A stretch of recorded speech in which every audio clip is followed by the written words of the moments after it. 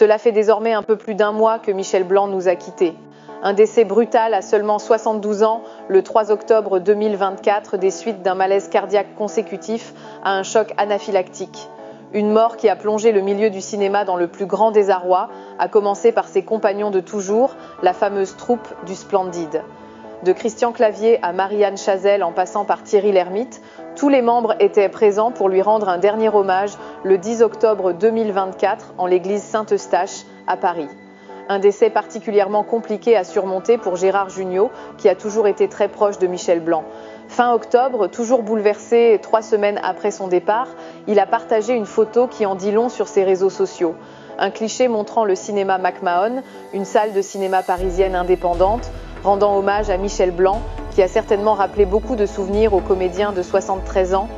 Le 7 novembre 2024, le père d'Arthur Jugnot était l'invité de Télématin sur France 2 et il a été question de l'hommage qui sera bientôt rendu au regretté acteur lors de la cérémonie des Césars le 28 février 2025, comme le rappelle Flavie Flamand. La journaliste demande alors à Gérard Jugnot si cet hommage du cinéma français est une juste reconnaissance du talent de Michel Blanc.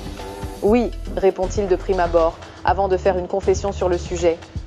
Il y a un truc qui m'a gêné, c'est qu'on a beaucoup parlé de Jean-Claude Duss, qui était vraiment sa création.